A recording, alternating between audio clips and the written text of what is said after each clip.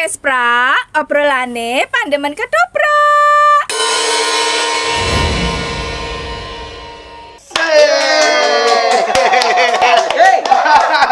Sugeng pemanggilan malih wonten ing podcast Prak. Obrolane Pandeman Ketoprak.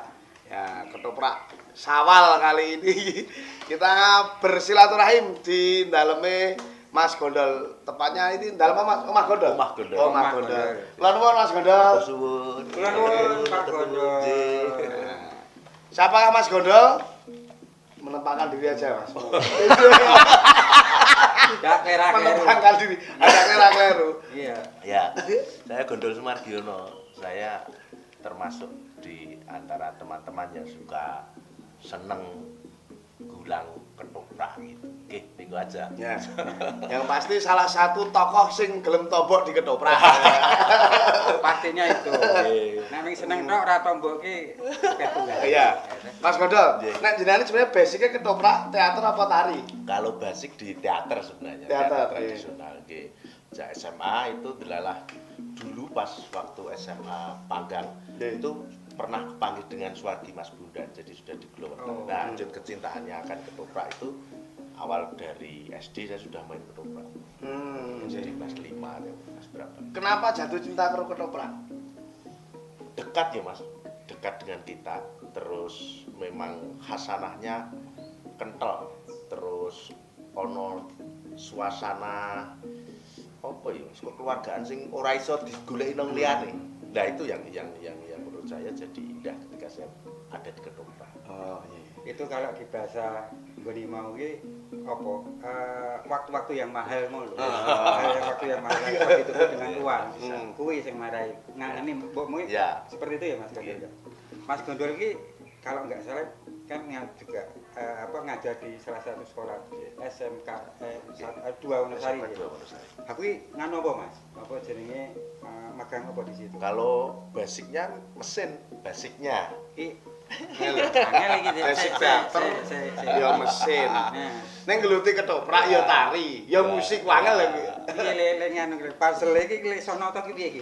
Ya, eh, sebenarnya antara mesin dan ketoprak ataupun eh, kesenian itu sebenarnya berhimpitan. Hmm. Di mesin itu kan perlu kedisiplinan, perlu kontinuitas. Nah, di ketoprak juga sama, ada ada kedisiplinan, terus ada kontinu yang terus menerus. Nah, akhirnya ini bisa beririsan. Jadi tidak paruan, tapi beririsan. Saya belajar untuk tetap sinau tentang ketoprak. Itu ya sekolah aku sinau caranya aku naik membubut, caranya aku naik ngelas. 0,1 saja akan jadi bermasalah. Oh. Nah, jadi di ketoprak pun sama, maka harus disiplin betul, sinau betul, sinau sinau. Berarti anu kan ukuran ya, ukuran Ukuran. hitung-hitungan kuwi kok nek matematika itu Iya. penting dan disiplin. Kita nek ra kleru ki biyen Mbah Bunda juga Hmm. pernah ngendika seperti itu. Ora disiplin rasa melu ketoprak wae. Ya, nah Tapi memang anu apa disiplin itu memang sangat penting. Di kesenian maupun di mana pun kalau tidak ada disiplin ya wes aja. Oke. Begitu. Neng nek nek Mas Gondol sendiri mulai pertama kali ketoprak tahun pinten? SD kelas 4 atau kelas 5 ya, kecil. Usia saya mungkin 9 atau 10 tahunan. Hmm. Saya sudah ada di ketoprak. Jadi lingkungan saya memang dekat dengan kesenian, Iya. budaya. Nek orang tua apa juga pelaku seni ketoprak? Bukan, bapak itu adalah petani cuma seneng bermain musik gitar dan lain sebagainya Hmm. makanya kemudian tapi takut toh mas, nek wong tua itu. Dulu saya mau ke kesenian kan bapak tidak memperkenankan karena mungkin kondisi ekonomi itu akan mengakibatkan orang tua takut anaknya nanti terjerumus sama nah saya harus sekian masa untuk meyakinkan bahwa pilihan saya di dunia dunia kesenian dunia ketoprak dan lain sebagainya itu memang tepat. Hmm. artinya Pak Mbok aku iso mangan sama kesenian. Nah, itu yang yang yang kadangkala susah untuk diyakinkan pada Ya. orang-orang tua kita Dan itu terjawab. terjawab Ya. dan terjawab dan sampai saat ini orang tua saya lanjut mengakui ya wis kuwi wis lakon ono ya. Jadi- Bahkan anu bombong. Iya, akhirnya ya wes lakon ono. Karena dulu sempat takutnya kan seperti itu. Ketika saya berada di lingkungan kesenian, bapak itu kan sudah mengalami sekian masa ya. Iya, iya, iya. Jadi seniman sing kemudian kadang kala ya untuk duit kadang ora. Nah, akhirnya akhirnya alhamdulillah mungkin berbeda nasib dengan bapak nah saya diberikan sesuatu sing menarik adalah cara komunikasi dan kolega berbedanya dengan bapak nek kolega saya semakin lebar semakin lebar rezekinya semakin jembar Iya. nah mungkin dari doanya bapak dan simbol itu oke Oh, kuwi. Jadi wong sukses ki mesti keluarga itu sangat penting sebagai Hmm. kunci. Doa ya Mas ya. Nggih. Anu Mas Gondo, sing mau kan kelas 4 SD wis ning di atas panggung. Waktu itu jadi apa? Joko sore kalau nggak salah Joko Suri itu lakon apa? Eh, kalau lakonnya saya lupa, weh, Joko Sore itu pokoknya tokoh sentral yang kemudian ada di situ. Nah itu menariknya dilatih orang-orang yang misal yang memang awam, yus ketoprak di sonan gitu, yang kemudian kursinya kudu maju dewi, dan Ditoto dewi. gitu, ditoto dewi. konvensional banget ya Nah, di situ saya mulai belajar dan mulai menyukai. Nah, sejak saat itulah kemudian wis iki omahku itu. Ya. Iki. Lah selain di situ kan ketertarikannya tidak hanya tidak hanya sebagai permain peran ya karena kalau bermain peran mungkin sangat sangat kecil ya. Jota Kris seneng nulis, nulis, Hmm. nulis, nulis, nulis gitu. Terus ini loh Mas Bro, sing angel itu kan pemain duwe potensi, duwe bakat luar biasa itu oke. Ning sing angel kan duwe ruang. Caranya Mas piye oleh ruang-ruang ketoprak? Nah, sebenarnya asalkan kita kemudian pertama jelas disiplin, Iya. ketika diberi peran apa pun, kemudian kita itu ngestokaken dawuh sesuai apa yang kemudian diberikan, belajar terus, ruang itu akan terbuka. Iya. Misalnya, delalah kok ora tidak ada di ruang ini, ada ruang yang lain. Misalnya kan eh, ruang panggung bagi saya itu sangat berat. Iya. Nah, kemudian diberikan ruang oleh teman-teman yang lain di ruang ketoprak televisi misalnya. Nah, itu kan jadi sesuatu yang sangat sangat membedakan. Nah, ini yang kemudian sebenarnya esensinya kudu sinau. Ya. Makanya didapat ruang. Terus konsisten. Oh, kayak oh kayak ketoprak. Oh, sinau ketoprak. Nah, belajar untuk terus di situ yang agak susah. Kadang-kala gandeng wis ora ikut di pemanggungan terus wah kayak ora ketoprak. Tapi saya selalu belajar untuk oh saya terus itu. Ketika saya tidak di panggung berarti saya menulis untuk ketoprak. Hmm. Jadi saya biasakan seperti itu. Ketika saya tidak diajak di ruang ini, saya belajar untuk ruang ini tapi dengan telaten. Berarti garis tebalnya adalah konsisten ya. Konsisten, Konsisten. saya. Konsisten belajar. Betul. Ya, tadi wis dikulik oleh Mas Erwin tentang apa ketoprak. Terus tadi disinggung oleh Mas Gondol ning televisi. Iya. Nek ora keliru beberapa kemarin juga terlibat ning ketoprak TVRI nggih. Iya, itu anu Mas, memerankan jadi apa itu? Terus Beteng Rotterdam apa ya? Beteng Rotterdam terus ada beberapa ada tiga atau empat gitu adalah dapat kesempatan nah ini Hmm. kesempatan itu kan tidak tidak bisa kemudian muncul tiba Iya. harus Iya. proses panjang ketika awal sekali saya masuk di kedoprak televisi saya jadi bagian yang terkecil mungkin dari kesekian tokoh gitu sampai akhirnya naik jadi eh, Lukito Mandrowo di Benteng Rotterdam yang itu luar biasa tapi harus perjalanannya panjang. Nah sebenarnya perjalanan ini termasuk dukungan anak dan istri saya. Siji ketika saya memerankan tokoh banci tapi lanang tapi kemudian disenangi cah lanang gitu saya di rumah latihan itu sampai bertengkar sama anak saya yang pertama. Bapak ini tuh kayak wong becong dan lain sebagainya jadi jadi Ya, ya, masalah. Ya. tapi kemudian saya yakinkan bahwa bapak itu bapak itu belajar satu. Yang kedua bapak itu hidupnya dari panggung. Entah panggung televisi entah panggung apa pun. Dan ketika bapak itu belajar di rumah bapak harus belajar dan gue kudu ngerti bapak kayak ngopo Hmm. jadi ketika saya kok memerankan seperti ini misalnya atau seperti apa gitu anak saya yang kemudian protes sebenarnya. Hmm. tapi protes ini yang kemudian saya tunjukkan iki bapakmu yang kemudian iki loh belajar untuk acting ini saja lama itu lalu kita mati kemudian diberikan kesempatan lagi. Pangku bumi ini wah itu luar biasa sama Mas Kris sama Mas Arya dan memberikan kesempatan itu. Nah kalau itu tidak kemudian kita bangun dari awal tidak konsisten tidak belajar tidak membaca dan lain sebagainya tidak mungkin saya sampai sana. Nah, gitu. Kegigihan ya berarti ya. ya harus siji itu maksudnya. Kedua ya memang Pokoknya sebelum yang kedua, kita break dulu. Oke. Okay. podcast pra obrolane pandemen ketopra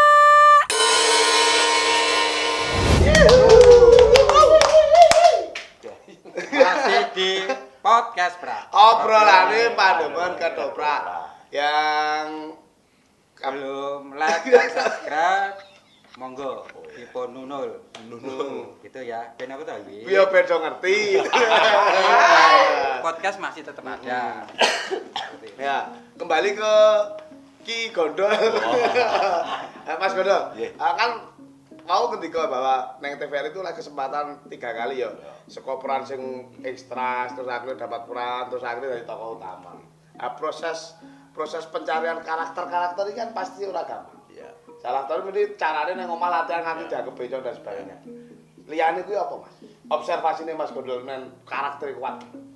satu membaca jelas membaca itu penting bahwa kemudian karakter apa yang kemudian di- dimunculkan dari situ membaca yang kedua delalah kok mas saya pertama juga karo Mas Erwin ketemu orang yang kemudian jago acting gitu saya belajar juga dengan Mas Erwin kedua ketemu Mas Stefanus Mbak Oki dan kawan-kawan yang kemudian membimbing secara non formal jadi lawan main itu jadi kunci kita untuk muncul di di permukaan. Iya. Jadi kenapa saya muncul itu lawan main apa apa ketika sekarang jenengan pertama sama Mas Ba- Bayu gitu. Iya, Mas Bayu sama Mas Iya. Nggih, Mas Bayu. Itu kan aktornya ya luar biasa. Iya.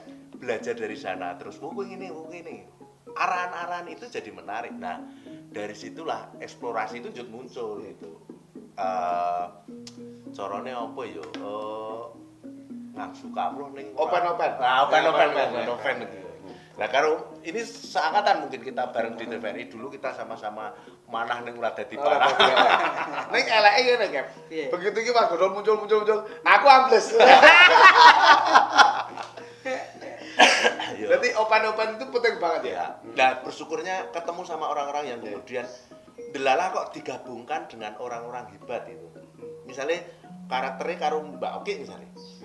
Mbak Oki kan kuat ya. Tiba-tiba saya harus bisu tidak bisa ngobrol dengan Mbak Oki. Tapi rasanya Mbak Oki kan harus curah betul pada saya. Hmm. Nah, ngomong rasane Mbak Oki, kemudian Mbak Oki ngomong rasaku itu jadi sesuatu. Akhirnya ketemu. Biar jidot aku ditinggal nangis. Rampung ya aku nangis opo iki? Padahal kita itu kan ketika latihan yo wis pengen iki pengen iki aku ingin iki Mbak yo yo. Padahal bisu Mas. Nah, curahan perasaan, curahan emosional energi positif dari beberapa aktor yang hebat itu mau nggak mau ya nggowo. Jadi gendong si istilahnya siji, yang kedua ya ketut secara tidak langsung. Iya. Gitu. Jadi enak saya. Dudut rasanya dari totalitas. Betul. Jadi enaknya saya ketemu dengan orang hebat. Weh nyaliro. Nah, Neng tahu loh, Bundari, Barni Sundari itu tahu. Waru godol itu topan nekak-nekak tenan. Ini bagian totalitas apa ora seneng? totalitas. totalitas saya kan. Nek sebenarnya ngono iki sadar ora to, Mas? Main se- dengan totalitas itu di bawah anu kontrol ngono iki ora? Kadangkala saya itu berpikir ketika sudah di atas panggung itu Iya. saya sudah ber- menjadi orang lain. Oh, Jadi iya. ketika sudah action ngono saya nggak tahu saya sedang berbuat apa. Iya. Sing tak lakoni ya rasane yang mengalir, Hmm. bukan kemudian saya wah pengen nekak ngan atau pengen apa itu. Tiba sudah diarahkan gitu, tiba lagi saya berbeda. Hmm. Jadi saya makanya istilah Mas Hari dan Mas Mas Kris saat itu ya harus dibebaskan gondol. Iya. Karena dia punya punya kekuatan apa ya improvisasi sing kepiye ngono. saya juga nggak ngerti wong tiba mau latihan yang ini kok tiba ya? Tahu gitu. nah itu ngalir dengan sendirinya apalagi kemudian ketemu karo wong-wong sing kemudian rasane wis kental ya Bisa ngumpani apa ya? wah wis tek langsung wah tenan rasane tenan ya aku Iya, iya, iya. Kuwi nek ning Jatilan nek wis posisi ndadi. Ndadi, ya. trans Perane lak ya ming pawang to. Ya sing penting kan totalitas. Perkara akhirnya ana sing rumoso ditekak lah kuwi kan efek. Nek rame dak mati. Mm-mm. jadi kadang-kala anu apa lawan mainnya juga takut ketika anu iki kok tenanan tenanan aku somre nek wis sengit. Dari awal saya tidak mungkin untuk ngobrol. Jadi ketika di di lingkungan TVRI misalnya untuk acting ini saya jarang. Ketika di luar mungkin saya bisa ngobrol-ngobrol Nggih. gitu jagit ketika sudah masuk ke studio wis meneng aja Ngenjingke. Iya, oh, suara di keguyu ada spread. Saya pokoknya bismillah pada tokoh ini. Jadi kadangkala Gojek itu jadi bermasalah pada diri saya. Iya. Karena saya ngurumang saning kok nek aku Gojek peranku hilang. Iya. Jadi saya jarang untuk Gojek. Nek neng dalam dunia ketoprak kita kembali ngomongin peran eh, Pangeran Mangkubumi. Ini kan tokoh sing ya wis eh, apa ya leluhur lah. Nah itu ono ono proses ritual ndak tuh, Mas sebelum memerankan tokoh-tokoh besar seperti itu. Alhamdulillah dibimbing dengan orang yang hebat Mas Kris. Jadi secara spiritual diajak untuk kejimakan, Iya. diajak untuk sholat dan lain sebagainya. Terus ketika biasanya sebelum saya untuk memerankan itu yo patus gede terus Iya. kemudian bajunya tak kirimi dungo tak kirimi Hmm. apa tiga pada no pada bumi dan lain sebagainya Nah, itu memang saya lakukan karena berbeda dengan peran misalnya saya dikasih Lukito Mandrowo itu waku itu Iya. Ketika memerankan Mangkubumi itu sakral. Jadi tidak bisa. Keris itu ketika sudah masuk ke tempat saya krek ngono ku rumah aku wes. Aku ki sapa piye ngono Mas? Itu yang kadang sok saya bingung. Energi ini Ah, saya nggak tahu, saya nggak tahu. Ketika makanya kalau meminjam kata-katanya Mas Hari, gue menengok wae, ora saku kan ngomong. Gue wis dadi. Nek kowe nganti metu beberapa kata yang kebanyakan gue berarti bakal rada. Nah, mangku bumi itu yo ngono kuwi meneng, tapi ketika ngomong pos pos pos pos. Nah, itu yang agak susah diperan mangku bumi karena wis ketoro ya Mas. Jadi itu susah. Makanya sebelum sebelum memerankan itu biasanya saya ratus gede terus kemudian saya kirimi Al-Fatihah dan sebagainya. Sampai saat ini adalah dititipi kerise sama Mas Kris itu setiap bulan mesti saya kirim. Ini ada pengalaman mistis nggak? Setelah memerankan itu. Nek mistisnya enggak, tapi ono Energi-energi. Ya, misalnya ono hal yo ada yang membedakan nong saya. Jadi sak bare luweh lerem, Hmm. luweh sare. Ya. Ketika ada permasalahan itu wah, buh dan luweh ngono gitu. lebih efeknya positif ya Ya, gitu Mas. Nah, waktu dadi layang setok kayak ono pengalaman apa? tapi ini di, di luar di luar ketoprak Ya. saya melihat Mas Gonjol waktu pas apa itu kita eh, antar pelajar kok Ya.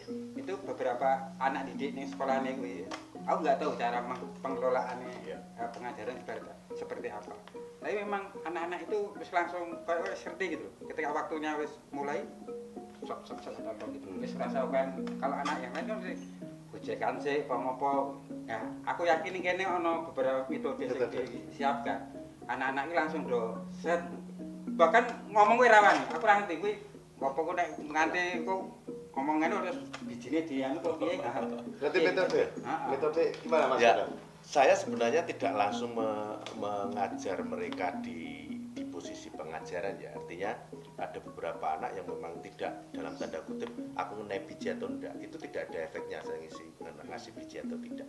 Tapi yang efek terpenting adalah ketelaudanan. Nyontoni. Nek kowe latihan jam itu kok kowe lemu teko pitu seprapat berarti kowe rasa main.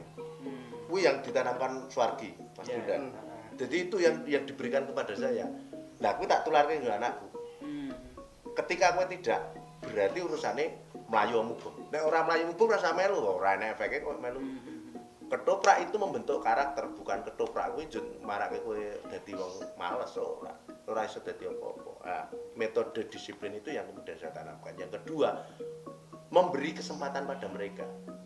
Mempercayai. Kowe nek arek latihan ya latihan diri sing jam semene kepiye jam semene kepiye kudu kepiye waktunya harus kamu tepat ketika ndak kamu mesti gagal lah delalah ketemu karo sekolah sing memang dalam tanda kutip SMK yo Iya. SMK itu apa meneh mesin otomotif dan lain sebagainya. Ya itu tadi yang saya obrolkan. Ketika toleransi sekian persen saja itu bermasalah berarti dia bermasalah. Gue aja main-main dengan itu. Aku itu gagal. Orang saya ngomong ketoprak nyambut gawe gagal.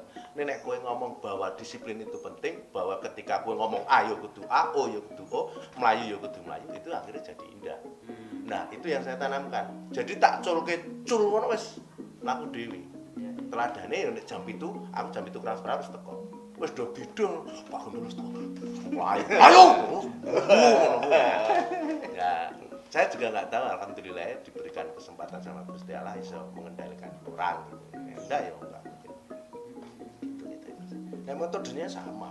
Cuma ya gue tak naik kepercayaan, disiplinnya dicontoni, terus kemudian gue duit tanggung jawab. Iya. Nah, selesai. Tapi anu Mas Erwin, nek aku ndelok beberapa belanjaan ning FB ngene Mas Gondol ki Eh. oke iki yang Eh, iki eh. kegiatane. Akhir-akhir ini sing dikupas tentang sampah, anu apa jenenge? Eh, dia juga duit apa ben ben keroncong apa ya, ki? Orkes? Omah Gondol sama Jazz Gades. Nah, kuwi apa meneh Mas? Ya. Iki dadi aku iki apa meneh iki? Ya saya saya saya tak mungkin mumpung mumpung urung di anu diketok kayak karo timer saya nyaran ngehe. Waduh. Engko ndak pamit kagol. Kita break dulu. Oke. Podcast pra, obrolane pandemen ketoprak.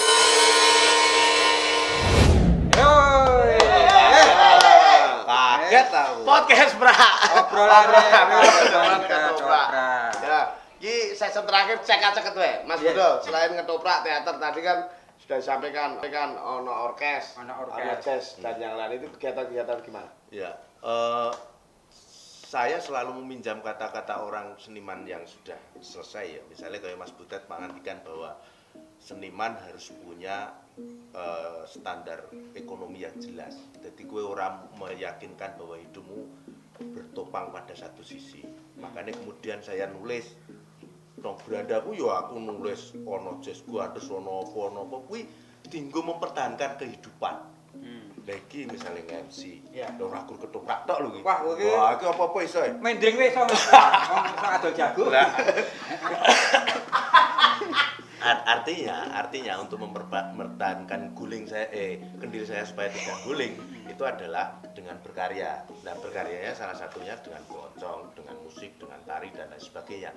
Itu yang kemudian membuat saya istilahnya tadi mempertahankan dan konsisten. Ketika saya tidak berada di lingkungan ini tapi saya tetap nulis saya berada di lingkungan ini. Saya tidak berada di sini saya berada di sini.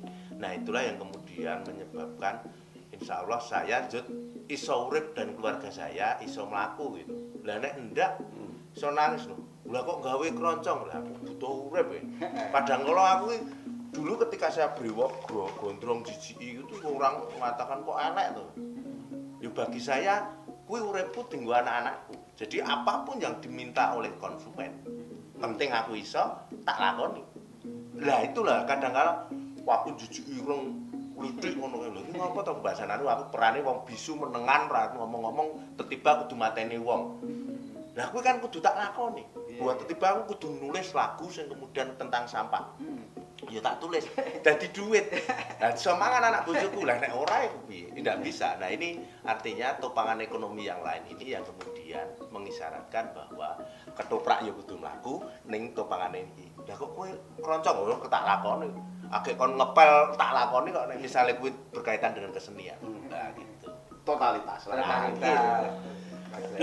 Omah Gondol sendiri, Mas. Nggih. Eh, kegiatannya apa wae terus iki ngrekrut anak-anak atau anggota kepiye-kepiye, Mas? Ya, Omah Gondol itu kan sebenarnya saya bangun 2010. Hmm. Terus Omah Gondol itu berdiri bukan sebuah sanggar, ya, Hmm. sing kadang-kala berbeda. Omah itu kembalinya anak-anak untuk bersilaturahmi tentang kebudayaan. Maka kene iki jane jut tak sebut sebagai pusat studi budaya Oh, iya. muridnya sekolah ndi? Ah, delalah saya tidak mencari. Jadi bukan sumur sing ditimba tapi tiba saja mereka datang, mereka datang terus aku ya lunga-lunga jut ketika ketika itu datang. Misalnya kaya saya punya Ramayana bocah anak-anak Iya. kecil yang kemudian saya kumpulkan dari mbok-mboke dulu sing adik tingkat saya dari UNJ, dari BPC, dari beberapa tempat gitu.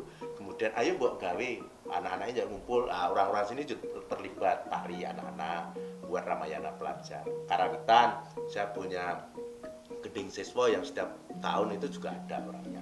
Terus ada wayangan setiap bulan, umbul dungo yang kemudian saya lakukan salah satu sarana untuk tempat untuk pementasan. Kadang-kadang gini mas, siji nalikane o latihan terus orang nek tempat pentase Iya. jadi masalah. Iya. Nah, aku men- menyediakan tempat pentas. Nah, ketika menyediakan tempat pentas berarti ono latihan mesti. Iya. Nah, latihannya ini yang menarik gitu. Karena oh, bulan ini aku iso pentas. Wah, mesti do latihan. Nah, itu. Jadi saya tidak setiap minggu saya latihan enggak, tapi setiap bulan saya ada pementasan. Oh, iya. Jadi karena setiap bulan ada pementasan, mesti serong minggu atau seminggu durunge mesti ada latihan. Nah, targetnya apa? Oh, targetnya ketoprak, Yus. Berarti latihannya ketoprak. Targetnya tari, oh. Dari kegiatan yang sangat mulia tadi, Ya, di Mas Godol. Pertanyaannya, dapat apa? Bukan materi loh. Ya. Dapat apa Mas Godol? Satu, eh, menungso itu satu yang saya pikirkan adalah nek iso berbagi. Jadi semuanya omahku ini hanya bisa berbagi saja saya. Karena nek nonton perilaku mesti perilaku saya kan tidak begitu baik-baik Iya. saja. Jadi Ora pates lodo. Ora yo, Iya, ah, guru. Guru. ku nek patok marah ora ya padha wae. Yo. Nah, jadi nek saya memahami bahwa energi-energi teman-teman yang kemudian datang ke Omah Gondol itu jadi energi positif. Satu, Mas. Yang kedua, saya membelajarkan anak-anak saya. Satu, misalnya orang datang terus ngerti, oh iki lho bapakmu ki kancane oke, kudu didum. Omahmu ki ora nggo kowe tok ilmu ini sebenarnya yang kemudian saya tanamkan. Nah, saya membelajarkan anak-anak saya pada orang-orang yang kemudian datang ke sini, siapa pun itu. Ya. Jadi mereka akan sadar, oh iya, iya bapak. Terus saya bilang sama anak-anak, bapakmu mau seniman. Seniman itu mau kudu disiplin, gelem dundum, karo menghormati orang lain. Nek kuwi wis kuwi ilang, ya berarti salah. Nah, iki tok sing kemudian saya punya. Nah, nek positifnya ya rezekinya juga mengalir dengan Ya, sendirinya. karena kebagian di kita. Iya, jadi ora usah mikir apa-apa. Jadi nek misale kok iso pentas terus? Nah, ya kuwi wis enek dhewe, Mas. Saya juga tidak memanage uang saya sendiri, Iya. juga tidak karena ada ada investasi dari teman-teman. Nek ora rasa kowe ndangkong. Oh, enggak. Enggak. Oke, terus ini pertanyaan receh ya Mas, gini. Eh, kan eh, tadi Mas Godol ketika omahmu ki ora nggo ngulwi dhewe, nggo KP, nggo sing seneng berkesenian. Ibu negara langsung bisa nerima itu enggak? Lama, tapi berjalannya waktu. Lama. berjalannya waktu bisa menerima karena dari awal saya sudah ngomong sama istri saya saya itu bukan istrimu saja saya istrinya orang banyak saya orang miliknya orang banyak karena saya sudah berada di panggung dulu pas mau nikah saya sudah diwanti-wanti kapan kamu akan turun dari panggung itu? Tak omongin. Kue terima ngerti aku mati atau kemudian saya tetap ada di panggung terus saya omongin bapak itu punya semuanya. Itu untuk orang banyak bukan untuk kowe jadi anak-anak saya juga saya ceritakan seperti itu sama. Jadi sama saya punya teman dari Belanda namanya Maria itu juga sama. Kapan kamu akan menghentikan pentasmu dan kamu akan fokus pada dirimu sendiri untuk kamu hidup? Oh. Gue podo karo motong tanganku sikilku megar aku posisiku aku urip mergo panggung mergo pentas. Kalaupun hari ini saya belum dapat uang tekne urung. Hmm. Gusti Allah mesti ngenai saka panggung itu. Dan dari panggung ke panggung saya telaten bojo saya awal wangel mas. Masake wong pirang-pirang kuwi ngeng ngeng. Tapi akhirnya ora, ora. tapi akhirnya akhirnya saya memahamkan bahwa awakmu masak dipahami untuk memberikan makanan didongake tinggu wong tuamu. Hmm. karena orang tuanya sudah meninggal akhirnya dia sadar oh iya aku masak terus pak. Oke ngono ki akhirnya gelem masak. Iki terus nganggo guse ning Nah, iya, ya. masak. Nah yang yang menariknya di sini ketika ngobrolin pentas saya dengan istri saya ngobrolin manajemen. Iya. bojo saya ketika pentas ngejoki proposal. Orang itu nek proposal aku entek sak yuta nggak ya wis kene. Rong yuta pak oke. Dicatat mas. Bawang rong kilo beras rong kilo. Saya membiasakan istri saya karena itu duitku. Iya. nek duitku aku eman eman oh ojo ini uang saya. Nek, nek orang ini ki uangnya pementasan itu berasal dari mana pun. Kowe kudu kowe bedake kowe pas nong jero kamar karo saiki kowe kudu masak dienggo wong ora banyak. Ya itu harus jelas. Nah manajemen ini yang saya sebut sebagai manajemen ketidakjelasan keluarga jadi bojo saya cok bingung pak iki anu guys dijok kowe proposal ini kita kasih nah itu yang yang menarik gitu. Neng anu lho, apa jenenge eh, ilmu kehidupan jadi Iya. yeah. kira anak-anak Pak. Jadi nek wong dolan iki ngene ya wis kena iki omah iki ya iki jarang wong tua ngandani kok ngono ya. Iki mi Bambang Pacul ya. kata-kata hari Nah, Mas Godol, Iya. kata-kata hari ini, ajakan kata-kata bijak, apa kata-kata Motivasi. motivasi, iya Kritik boleh lho. kritik boleh. Nek kritik saya tidak bisa mengkritik tapi nek motivasi ini cuma bahwa panggung itu adalah tempat kita untuk bernafas dan berjalan panjang untuk kehidupan. Dan panggung itu mengajarkan kita untuk selalu sopan, selalu berbagi, dan selalu mengerti bahwa teman-teman kita itu banyak. Jen gua kayak ketutur rasamu nah, enggak enggak mungkin. Kalau enggak wis to omahku kene wis tak guduli tak Oh, paske iya. model gini iki. Serius, tapi kemudian karena ketoprak karena panggung saya sadar, oh aku butuh lampu. Lampu itu menerangi orang banyak, ya lampu. Oh gamelan gamelan gue wong banyak, tunggu aku dia tanggung. Artinya panggung mengajari saya, ketoprak mengajari saya bagaimana menghormati orang lain, bagaimana cara membutuhkan orang lain dan bagaimana berbagi dengan orang lain. Sangat adiluhung. Aduh, loh. Aku harus menyimpulkan. Ya. Jadi obrolan kita tadi, Siap. ini ketemu. Ya. Jadi ini ada di wong sukses. Hmm. Sing disampaikan Mas Gondol kuwi siji disiplin, Yes. loro konsisten, Oke. ketelu sorry toladan. Yes. Nah, keempat ini, ini papat yang penting. Mm-mm. Keikhlasan ibu negara. Ya. Wih, wes toh. Ya. Podcast, Bra. Obrolan Pandeman Ketoprak. Ketoprak. Sampai ketemu lagi di lain kesempatan.